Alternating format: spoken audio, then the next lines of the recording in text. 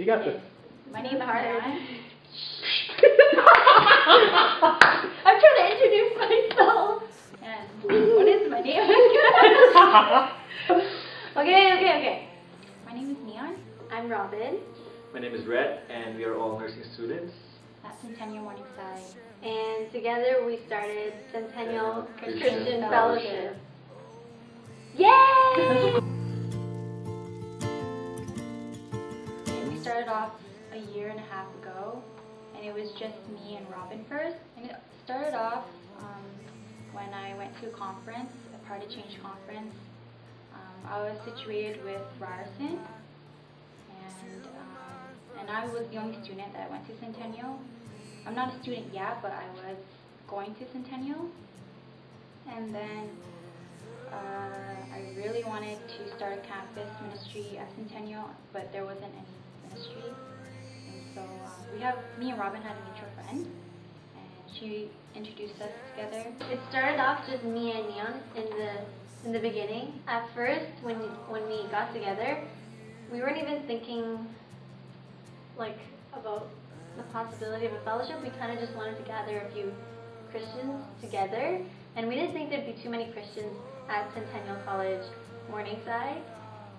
But I think just slowly God began to just bring people into our lives without, without us even doing anything. Um, and it's funny because, um, kind of like Jonah, I kept running away from, from from God in a sense where I didn't want to start a fellowship. I didn't feel like it was possible, and I didn't think. I don't know. I, I kind of just wanted to concentrate on school and my academics. So yeah, I actually said no to starting a fellowship first to someone else, and then secondly to Neon when she brought it up. And then I don't remember what happened the third time. I think the third time I was like, okay, yeah, I think it's feasible. I think we can do this fellowship thing. But I think it was only until after people started showing up when we thought like this, is, this could be possible. It's funny, you said you feel like Jonah. I felt like Moses. I wasn't really a good speaker. I stuttered a lot, and I was shy too. I don't even know how I got to where I am. I don't stutter that much anymore. She's gotten so much better. Gone. Like she used to not like praying in public, not even just one on one. So I think, yeah, she's gotten a lot better. Gotten so comfortable Yeah, praying to God, not um, praying so that people could hear sweet. The very first day of class, um, uh, we had a we had a break time, and then suddenly Robin went in the class, and me and my friend Ken were talking, and then suddenly we just heard a big bang on the floor. we looked at her, and like, what's this girl's problem? Because she dropped her bag. Because the, the class was, was became silent because of his because of her bag. because Uh, Robin arrived. Mhm. And then so I'm like, Ken, okay, let's move aside, let her pass. Okay. And then when he when she passed by, she dropped her bag again. Like, okay, there's something wrong with this girl. And the next class, uh, me and Ken sat in front of her, and then suddenly uh, she noticed that Ken and I were talking about uh, Christian songs because we were preparing for uh, worship lineup. And then she asked Ken, "Oh, are you Christian?" And then Ken was like, "Yeah." And this is my friend Rhett. She's a Christian too. And then yeah, she said, "Oh, that's cool." And then yeah, she mentioned about CCF. And I'm actually surprised because I never, I, I didn't know that we have a Christian fellowship in Centennial Morningside until that time. So I'm like so excited to join. It was so weird because like that exact day, like I didn't even talk to Rhett that much. I talked to Ken more. Like this dude named Rhett added me on Facebook, and I, I didn't I didn't know who he was. I like, who is this guy? Like, like what the heck? I, I had no idea who you were because I thought your name was Red, like the color red. Yes, my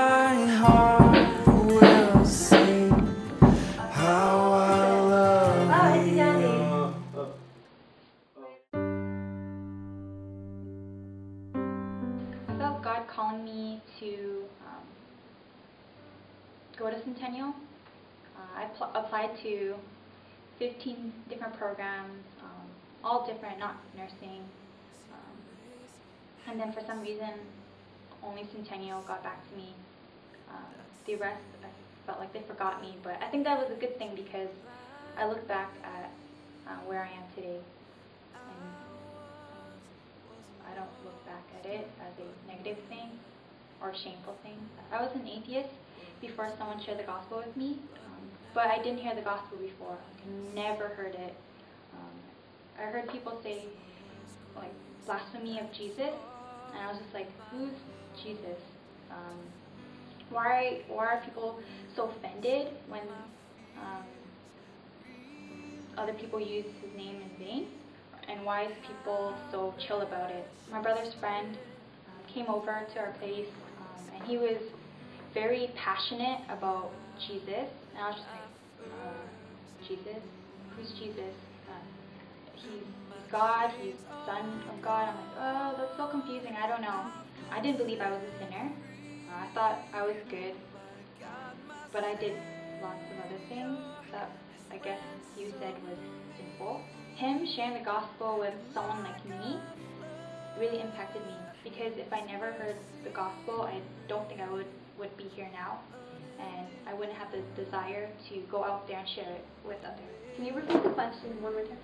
How did I feel called to do CCF? Initially, what happened was this one girl approached me at Centennial, and she's like, and we were friends before before being students at Centennial, and she asked me to start a fellowship with her, and I, I said no.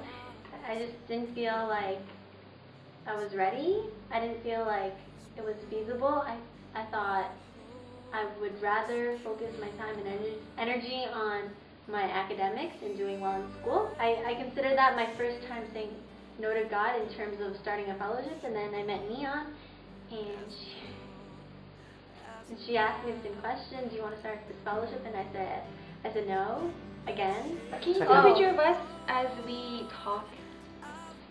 Isn't it Just rolling? behind the scenes, as many It's as rolling, you can. dude. Make sure you keep you Is you it- take picture Is before. it? Oh, it is. Okay. Okay. Oh, let me see. No, you're talking. Let me see. The poo was with her when you were talking. I guess what motivated me to change my mindset about starting the fellowship was when, despite me not trusting that God could work with anything, He started placing things in line. What's the question? so what happened was um so so wait sorry basically I I had to return to year two and it was a such a disappoint disappointing um, part of my life. That was the time that I was asking God why I did my best but why why why why? Before the class started I was able to watch God's God, God's not dead and it really motiv- motivated me and inspired me that it's possible for us to um, to uh, to prove that God is not dead to to to in, in campus ministries. Also, after that, I was able to um, watch some sermon series about the Book of Rev- uh, Revelations, and that really um, uh, motivate motivated me because um, it made me aware that the second the second coming is really coming soon and we have to really spread the word out there, you know. And like I feel bad for these, for the other people that haven't heard about the gospel. So, the role of prayer. One really. what are you doing? We're listening. So weird. Stop. Okay, so one really good story about prayer. And look at them. Um. So okay, one really good story of prayer. okay. So one really good story about prayer was okay. So it starts off with me and Neon just just talking, and she's telling me that she's been fasting, right? And I was thinking it's not Lent season. It's not like she's not doing a 30 hour famine why why is she fasting right indirectly like like neon taught me about prayer because i decided to try it out what i chose to fast for was my friend my non-christian friend who i wanted to come out to ccf and i've been praying for him for like um, year. To be honest, I expected God to answer me. I expected God to br- somehow bring him to fellowship. But during Friday, the, during the fellowship, he didn't actually show up. And I was kind of pissed at God because it's like, what the heck, you know? I, I'm taking a leap of faith and you're not really coming through for me. So, like, what's up? But to my surprise, during the middle of CCF, we were, the three of us were just going through, like the program and whatever. Um, three people ended up coming. Three non-Christians ended up coming to join our Bible study. And I remember the feeling of just seeing people walk into the room. I was like, I was just floored, you know, because I didn't tell them I was praying for my one friend until after the, the fellowship, like after that meeting. And it was it was kind of like just a me and God moment where I knew like, okay, Robin, like you were wrong. God, it wasn't that God didn't follow through. It's in fact that God followed through and He went even further because He brought three people instead of the one person I was praying for. Like it kind of did suck that that one person didn't didn't come out, but God brought three people who had been coming out to fellowship, and I just thought like, wow, that's so amazing, you know. And and it's cool that Neon was the one who who inspired me to fast and to pray because she's actually in the beginning she was actually really shy about praying in public, praying with more than like like one person. And so for her to teach me, for someone who is so uncomfortable with prayer, to teach me about prayer, it, was- it was a really big thing for me, and it showed me that God can really use anything and anyone to teach teach a lesson and to really show His His power, His glory. It was a really big lesson of prayer for me because I think a lot of the times we neglect prayer because it doesn't seem like effective. Um, but in fact, prayer is a really powerful tool.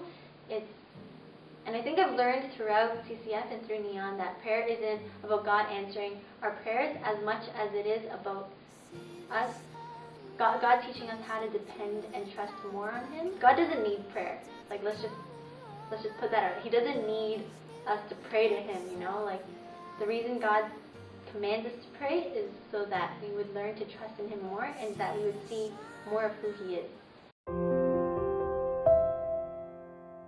Throughout the year, we had some trials and challenges.